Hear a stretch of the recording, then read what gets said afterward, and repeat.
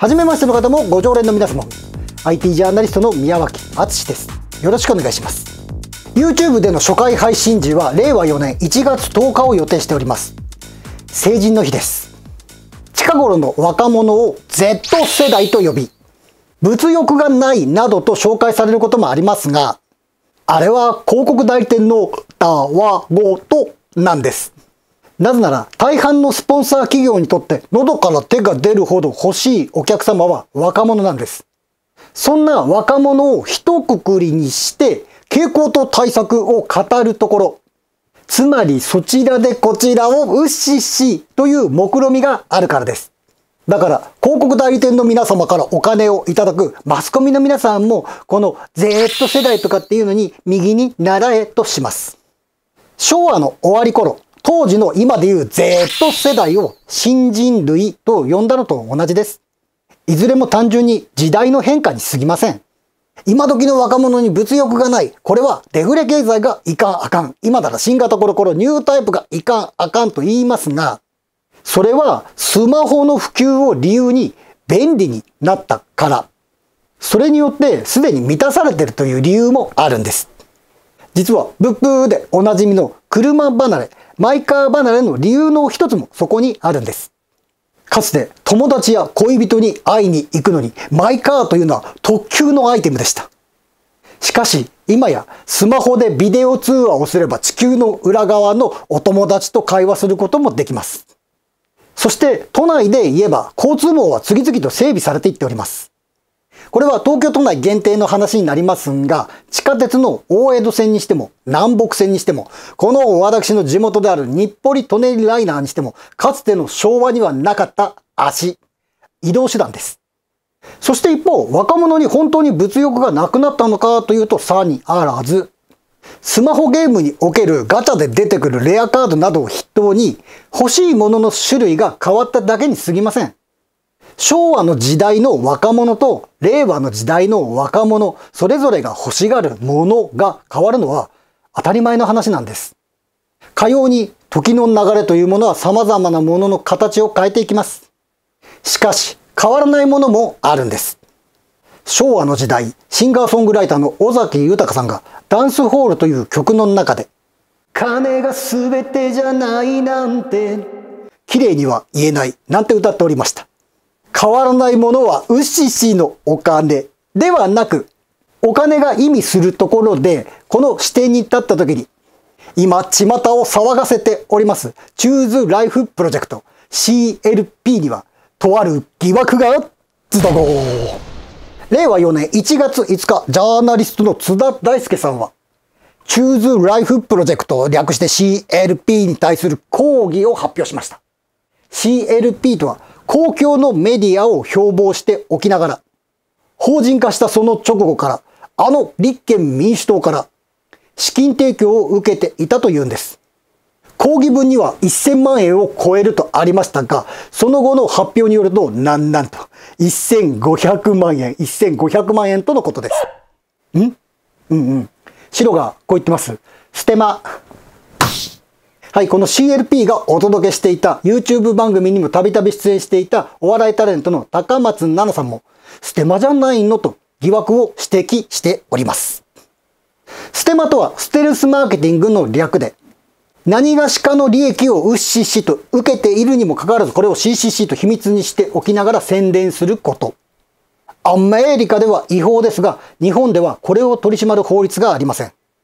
私がこの CLP をこの成人の日に取り上げた理由というのは、若者の皆さん、日本社会の皆さん、立憲民主党がステーマ的な、みたいなっぽいことをやっていたということではありません。あくまでお金が意味するところのお話です。それも政党交付金や立法事務費、えい、もう一個乗っけておこう。文通費とかっていう政治にまつわるお金の話でもありません。それらはいずれも問題。問題はあるんですが、今回は別の話なので脇によっこいしょと置いておいて、何かといえば市場価値の話です。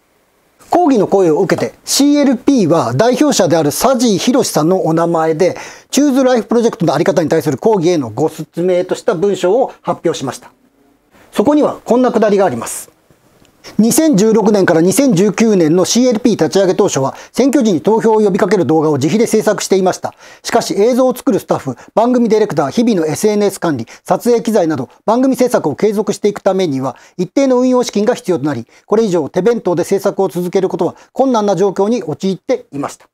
はい、ここのくだりだけで CLP に対する市場価値への疑惑は深まったとなります。こんな感じで、ドボドボドボドボドボドボド。こちらの説明文をたどりますと、西暦でいう2020年に代表の佐治さんは、あの報道特集を手掛けている TBS の関連会社をご退職なされております。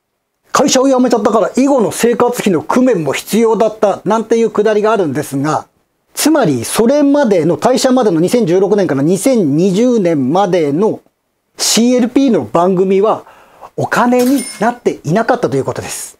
そしてこれ、本当に意外と知られてないんですけれど、会社を辞めるということは、翌月、あるいは翌々月から給料がもらえなくなるということです。お給料がなくなれば、家族はもちろん自分も食べていけなくなります。実はこの私も20年ちょっと前に会社を辞めております。私の場合は会社員時代からの取引先を引き継ぐことができました。実はこれ、円満退社ではないのですが、当時の勤務先がグーヌーヌー GNN とばかりに黙認してくれたんです。なぜか。この私にしかできない仕事だったからです。そして当時の取引先に事情を説明したところ、あ、いいよ。あの会社さんじゃなくて宮脇さんに仕事出してるからとおっしゃっていただきました。これを端的に言えばこうなります。市場価値があった。手前味噌ながら当時の私には市場価値があったということです。そして YouTube 番組にせよ、こちらのメルマガなんかにしても、まあ、つまりコンテンツビジネスというのは、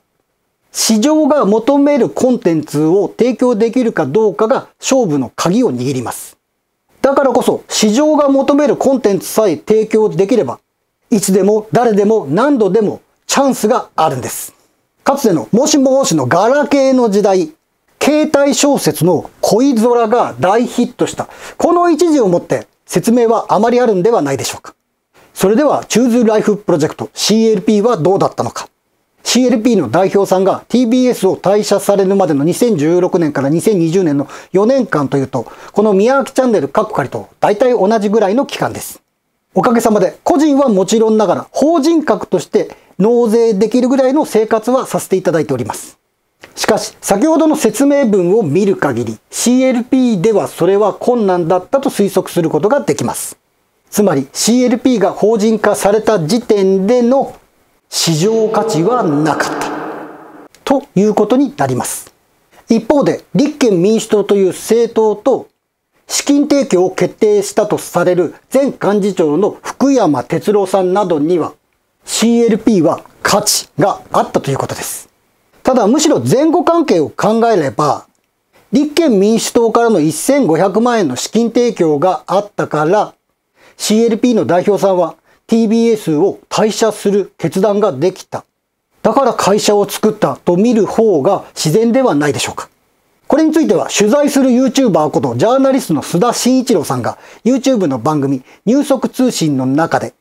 同じようなことを指摘され、さらに TBS のなんだか上の方の人も関係しているんではないかという疑惑があるので、現在鋭意取材中とのことでした。そして一般論で考えたときに、その資金提供というのは、立憲民主党の支持率を上げるため、つまり市場価値を上げるためだったと見ることができます。そのことは意味軸も CLP が立憲民主党のステマをやっていたんではないかという疑惑を指摘したお笑い芸人高松菜奈さんのお詫びと題したブログに確認できたんです。ちなみに私自身は CLP には最近出演していない声がかからなくなったのもある。番組の色が当初私がイメージしていたよりも左に傾いていったのが気になるところだった。ぜぜひを訴え、与野党問わず批判するときは批判する私のスタンスと違ったから、声がかからなくなったのかもしれないが、これはあくまで私の推測の域である。あくまで推測と断りながらも、立憲民主党が日本共産とのその密々の関係を深めていったことから、左傾化というものは外部から見たら当たり前の話です。そんな極左化に忖度できない高松菜奈さんは CLP に呼ばれなくなったということです。ここでコンテンツビジネスと市場価値の話に再び接続します。なぜなら国政選挙において立憲民主党に代表される左側というのは自民党政権に負け続けてるという現実がそこに残されるからです。国政選挙は日本最大の世論調査的なみたいなっぽいものと言って過言ではありません。すなわち極左化した CLP には国民が求める喜ぶコンテンツを提供するその能力がなかったという疑惑が、ちょだが。視聴者や国民におもねろという話をしてるんではありません。CLP が公共メディアを掲げていながら、お客さんを左側に、まあこの番組的に言う鍵括弧付きリベラルに限定していたところ、そこに矛盾があるんではないかという話です。しかも、法人化する前の4年間で収益化ができていなかった、お金をゲットだぜとできていなかったということは、法人化する前、いわゆる市場価値としてはその市場価値がなかったということになるんです。さらに、立憲民主党が1500万円資金提供した後の国政選挙において、つまりは昨年の衆院選挙、その投開票の翌日、読売新聞は、立民残波異議席減と見出しを打ちました。すなわち CLP を通じた支持者の増加の効果は、えい、もっとぶっちゃけて言うと、ステマの効果は、なかった、なかった、ざまあ、ということになります。なお、資金提供を指揮した当時の幹事長である福山哲郎さんは今回の件が発覚してメディアの取材に対して番組で宣伝してもらう意図とかはなかった。理念に共有しただけだ。なんてね、おっしゃっております。だが、ちょっと待ってほしい。ならば、統制拡大を目指さなければいけない立憲民主党への配信行為、配信行為となります。100歩譲りまして、今夜の晩ご飯も食べられない子供を支援するための団体とかに寄付したんだったらわからなくはありません。しかし、あの TBS の制作会社をわざわざやめて、公共メディアを掲げるなんていうね、まあいわば自分探しを始めた大人のために資金提供をするっていうことは、なかなか有権者の理解を得るのは困難ではないでしょうか。はい、ここで話をまとめます。市場価値を測る目安がお金であり、またお金の流れだということです。もちろん、お金だけが全てじゃありません。しかし、その人の行動活動に価値があるのであれば、手弁当でもボランティアでも必ず人は集まってくれ、そして手伝ってくれます。これは銭金の話で言うと、労働力の提供ということで、企業経営で言えば人件費に相当します。市場価値があるところには人が集まり、その人が集まったことによってお金が生まれる。こういうケース、ネットで見かけるのは珍しいことではありません。なぜなら、インターネットがそもそもそういう場所だからです。さらに噛み砕いて一言で言えばこうなります。誰かに必要とされる仕事には必ず市場価値が生まれる。これは昭和から平成を過ぎ、令和を迎えた今になっても、自由市場における変わらぬ原則です。若者の皆さん、そして今が、今が一番若いという皆さんも含めて、必ず誰かに必要とされているんです。だから私は今日この日、皆さんにこう呼びかけます。おめでとうございます一方、お笑い芸人の高松菜奈さんが指摘されたように、極左化的なみたいなっぽいことになってしまった CLP のコンテンツには、その市場価値がなかった、なかった、だよね。可能性がとても高いということです。するとその理念に共感したやっぱり立憲民主党も間もなく消えた、消えた、やったーとなるのではないかな。ああ、そんなことをうっかり考えてしまう成人の日の今日この頃でございます。お金は指標に過ぎません。しかし指標とはデータでありサイエンスなんです。どちらかではなくどちらもと考えることも大切です。というわけでこれからもみんなで頑張っていきましょう最後までご視聴いただきありがとうございます。チャンネル登録もよろしくお願いします。今回の番組お楽しみいただけたのならば、いいねをクリックしていただけると嬉しいです。いつも応援ありがとうございます。それではまたの機会もお付き合いいただければ幸いです。最後にワンコのコーナーでお別れです。バイバイ。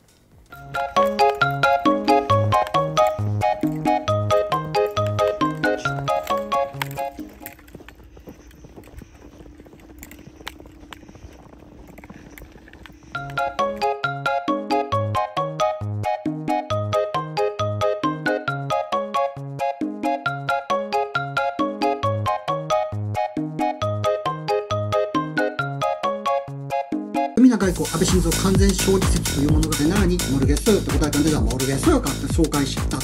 赤が勝ち。羽生くんすごい。宇野くんすごい。日本別にすごくない。